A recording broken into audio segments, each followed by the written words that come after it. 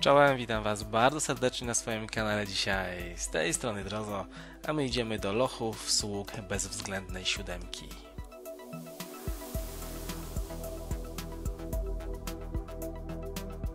Są to cholernie niebezpieczne podziemia, w których znajdziemy Hellflyery, Grimliche, Vexclawy i demony i to w ogromnej ilości. Ale żeby się tam najpierw dostać, musimy porozmawiać o to z tym NPC, który się nazywa Mazarius. On będzie nas prosił o dostarczenie mu 30 Demonic Essences i po dostarczeniu tych składników będziemy mogli wejść w ten teleport powyżej. On nam da jeszcze taką e, różdżkę do teleportowania i już będziemy mogli tam wejść. Ja teraz się cofnę. Widzicie, mam Demonic Essences. Oddam mu je i będziemy mogli już wejść do tych podziemi.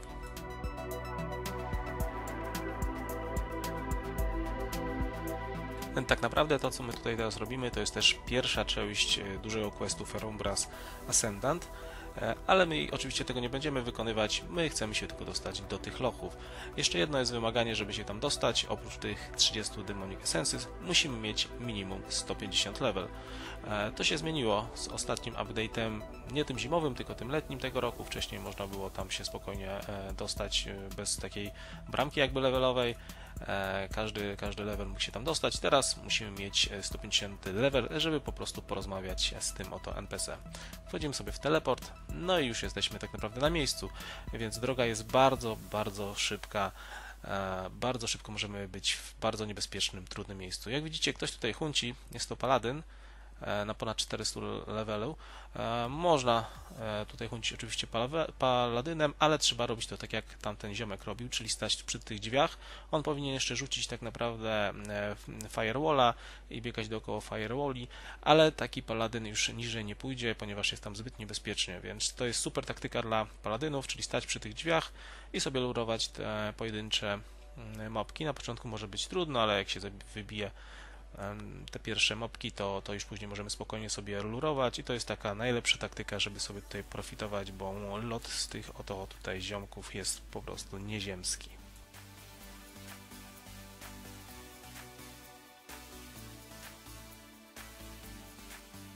Oczywiście jest to miejscówka do huncenia w teamie, nie jest to hun- miejscówka do huncenia pojedynczo. E, No chyba za hunceniem możemy nazwać e, tą taktykę stania przy schodach jak ten paladyn i wybijania pojedynczo tych mobków, ale to jest raczej dla, e, dla profitu niż takiego prawdziwego huntu. E, A my zobaczymy jak daleko, e, czy w ogóle będziemy mogli pójść e, tym nightem, zobaczymy jak to dalej tam wygląda. No to co, no to zaczynamy w takim razie. Musiałem się tu trochę jeszcze e, podmanasować, bo na samym początku jest e, trudno. Jak widzicie, jest tutaj e, sporo silnych mobków. Em, Tak naprawdę znajdziemy tutaj cztery rodzaje mobków i będą to Hellflayery, Grimliche, Vexclawy, no i oczywiście demony, czyli sama elita jakby mobków, bardzo silna elita, zwłaszcza mm, Hellflyer, który jest zdecydowanie jednym z najsilniejszych niebosowatych mobków e, regularnych do bicia, więc na pewno jest ciekawie, na pewno jest tutaj zabawa. W e, teamie mm, musi być tutaj nieziemsko, ale bardzo też niebezpiecznie. Pojedynczo e, jest oczywiście tutaj mordownia, no ale będziemy się mordować, bo czemu nie?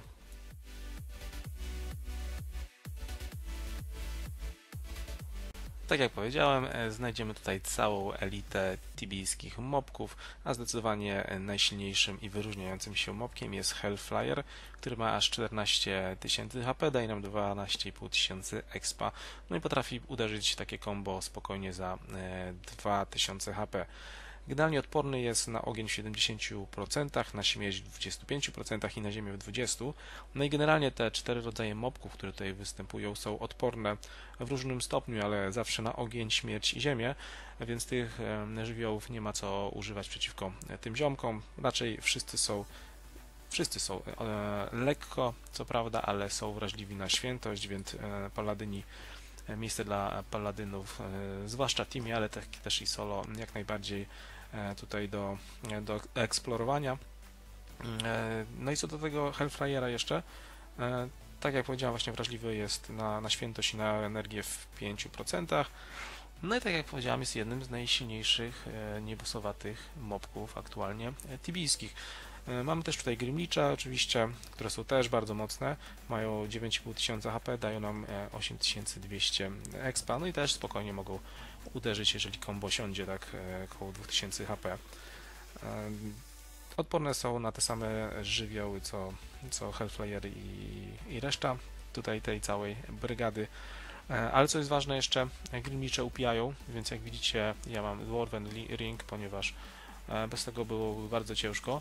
Jeżeli tutaj się w teamie hunci, no to Knight oczywiście bierze wszystko na klatę, ale shooterzy powinni mieć Dwarven Linki po to tylko, żeby w razie czego mogli uciekać, ponieważ oczywiście Grimlicze między innymi bardzo często e, zmieniają e, miejsca. E, Vexclaw też silny potwór 8500 HP, 7100 expa. HP ma bardzo podobne do demona zbliżone, ale daje nam e, 1100 expa więcej. Świadczy to tylko o tym, że są one zdecydowanie mocniejsze od demonów. Mogą silniej uderzać, są twar- twardsze zdecydowanie też. No i oczywiście demony. Demony, czyli nasza klasyka gatunku tybijskiego 8200 HP, 6000 expa, mm, e, klasyk e, wielki jeszcze do 2006 roku, czyli do starych bardzo czasów. E, Demon był najsilniejszym niebosowatym właśnie mobkiem w Tibi. Do tego czasu, ponieważ w 2006 roku wszedł wtedy Juggernaut do Tibi. Juggernaut został odkryty i prze, przejął on pałeczkę najsilniejszego e, niebosobo, niebosowatego e, mobka tibijskiego.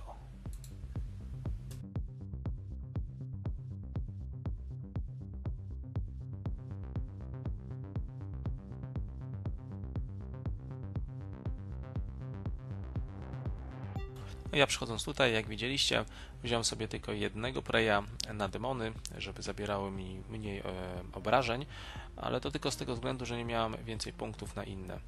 Najlepiej wziąć ile się da, jeżeli mamy trzy okna z do wyboru, no to, to najlepiej wziąć we wszystkich trzech okienkach jakieś moby, które tu występują, na pewno Grimlicze, na pewno Hellflayery, no i pewnie e, Vexclawy.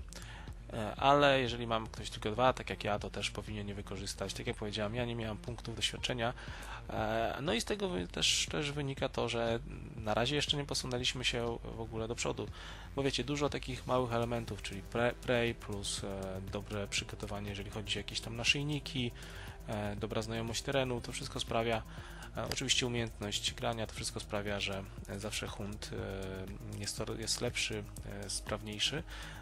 E, No i tak to się wydaje, że małe, drobne rzeczy, ale jak się to wszystko złączy do kupy, to zawsze e, wtedy jest dużo lepiej, jeżeli to wszystko dobrze e, dogramy. No ale teraz troszkę poszliśmy naprzód, jak dalej jest demon, dalej jest Grimlich. Inną ważną rzeczą to jest oczywiście musimy mieć energii bomby i energii walla. Bez tego w ogóle nie mamy się co tutaj zapuszczać, ponieważ od razu za dużo tych mobków będzie i będziemy mieli spory problem. A, ja miałem osobiście problem, bo nie wiedziałem, którą broń użyć. Czy, czy tego miecza, co mam, starczą, czy po prostu dwuręcznego e, mojego miecza.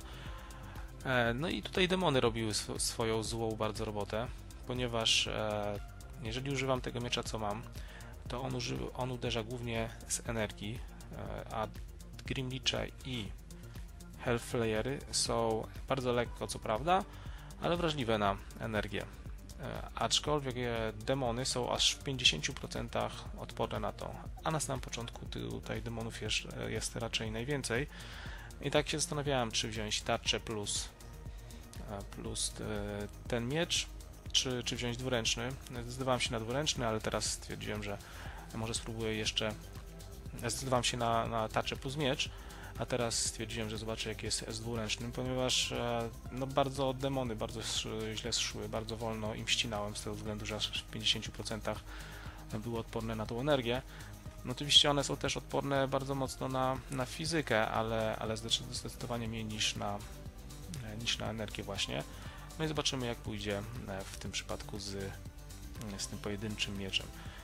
Ja jednak wolę chodzić z tarczą. Tarcza ma, daje mi dodatkowe bonusy. Nie tylko chodzi o to, że jak są dwa, dwa mopki, to, to wtedy mam większy defense, ale po prostu dodatkowe mm, bonusy sprawiają, że wolę chodzić z tarczą.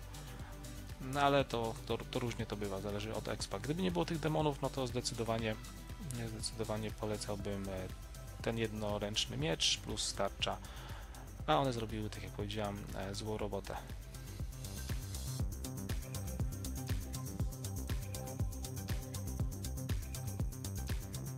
Na solo huntach w takich trudnych miejscówkach no, zawsze dobrym pomysłem jest e, summon. Ja go tutaj teraz nie wziąłem. E, mogłem go wziąć, ale tak naprawdę on by szybko, bardzo szybko padł, bo na tych teraz nowych miejscówkach, gdzie, gdzie rekomendowane levele to jest 250 minimum, 300 i więcej, on bardzo szybko pada jednak. Niby chwilkę powalczy, ale zadaje małe obrażenia tym silnym mobom, sam szybko pada. E, ok, myślę, że, że zawsze warto go wziąć. Ja go tutaj nie wziąłem, bo już tak wszedłem e, bez niego, bo zapomniałem i, i już tak kąciłem. Ale bardzo często się zdarzy, że jednak on e, dość szybko padnie i pożytku za dużego z niego nie będzie, no ale lepiej mieć go jednak po swojej stronie niż, e, niż miałoby go nie być. To jest w sumie tak naprawdę też jedna taka mała, mała rzecz, która w, jak się sumuje z innymi rzeczami, z dobrym przygotowaniem, tak jak wcześniej mówiłem, z dobrą znajomością terenu, z dobrym sprzętem e, sprawia, że e, trudne miejscówki są po prostu trochę łatwiejsze, a czasami też ratuje to, to życie. Dobra, przejdźmy teraz może trochę do lotu, bo lot, jak powiedziałem na samym początku, jest obłędny. Wystarczy tutaj wspomnieć, że z każdego z tych mobów tutaj występujących leci nam Magic Plate Armor za 90k, to znaczy może polecieć oczywiście. W ogóle to może powiem Wam, jakie E, jaki leci tutaj lot, który jest warty więcej niż 20k. A więc to tak jak powiedziałem, Magic Plate, Armor 90k, Masterman Shield, Heavy Mace, Rift Shield, te trzy itemki, każdy z nich jest warty 50k. Rift Crossbow, Rift Bow, te dwa, dwa itemki 45k, Skull Helmet 40k, Demon Trophy oczywiście 40k, e, Demon Rage Sword 36, Nightmare Blade 35, Steel Boots, Demon Shield, Vile Axe, Rift Lance, e, Golden Axy. Te wszystkie itemki warte są 30k. No i jeszcze dochodzi do tego Golden Armor i Abyss Hammer, które są właśnie warte 20k. A oprócz tego e, lecą też itemki, które są trochę mniej warte, więc e, lot może tutaj być obłędny. To chyba jest miejscówka z teoretycznie najlepszym lotem, jaki może wypaść. Taka, teore, taka miejscówka do huntu. Oczywiście e, ważne jest tutaj szczęście, no i musimy tutaj być z teamem, bo samodzielnie, tak jak ja tutaj gram, to raczej e, musiałbym mieć furę szczęścia, żeby wyjść na jakiś plus, albo co najmniej na, przynajmniej na zero. No albo tak jak ci paladyni, e, ten paladyn na samym początku filmiku stać przy tych schodach i używając fire, no nie firewalla, tylko energy walla, ubijać pojedynczo te mopki, to jest jakaś szansa dość spora, że wyjdziemy tutaj z profitem.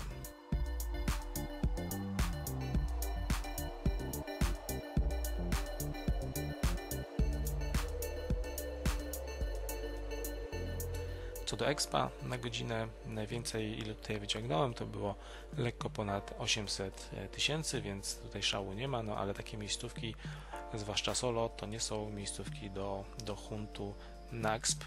Jeżeli chodzi o team, jest zdecydowanie oczywiście lepiej. Jeżeli chodzi o solo nightem, absolutnie nie. Są inne miejscówki e, dedykowane na, na robienie expa.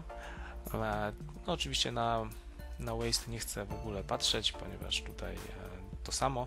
To jest bardziej po to, żeby sobie zobaczyć, pobawić się trochę i pokazać Wam jak tutaj jest. Ja tutaj oczywiście też pierwszy raz byłem solo, no i raczej tutaj nie będę przychodził, żeby sobie poekspić albo porobić jakiś profit, to, to, to, nie, to nie tędy droga. Ale myślę, że generalnie będę musiał tutaj wrócić, bo przeszliśmy no, kawalątek od tych schodów, ale raczej ciężko, ciężko iść naprzód. Myślę, że jak ten nowy sprzęt uda mi się jakoś zdobyć, bo jest bardzo ciężko z tymi rzeczami od Falconów, które e, koksują dość mocno e, nie tylko Knighta, ale wszystkie tak naprawdę profesje i za parę dziesiąt leveli myślę, że spokojnie tutaj będę, będzie trzeba wrócić i zobaczyć e, jak się sprawy mają. Bo to często też jest tak, że na jakimś konkretnym levelu, nie wiem, na, na levelu 100 jakaś miejscówka wydaje się bardzo trudna, ciężko, ciężko tam expić. Minie parę dziesiąt leveli, 120, 130, troszkę sprzęt lepszy się zrobi i nagle ta miejscówka staje się e, sporo łatwiejsza. E, dobra, e, generalnie ta, ten oto spot został tutaj wprowadzony do TB, został odkryty przed, przez Tibijczyków w grudniu 2015 roku. Był to update do TB 10.90. Powojowaliśmy trochę, ale myślę, że powoli powoli trzeba będzie e, wracać. E, No, mam nadzieję, że filmik Wam się podobał. Jest to na pewno ciekawa miejscówka i bardzo atrakcyjna z tego względu, że jest bardzo blisko, praktycznie jest w samej Darashi, dostęp jest bardzo łatwy, e, a moby są bardzo, bardzo trudne, dlatego też często można tutaj kogoś spotkać, jakieś teamy, ale mimo wszystko zawsze warto sprawdzić, ponieważ, tak jak powiedziałam, jest to bardzo, bardzo blisko, chyba najbliżej położona miejscówka z takimi mobami e, w całej TB. Dobrze, więc ja już będę kończył ten filmik. Mam nadzieję, że Wam się podobało. Trzymajcie się, cześć.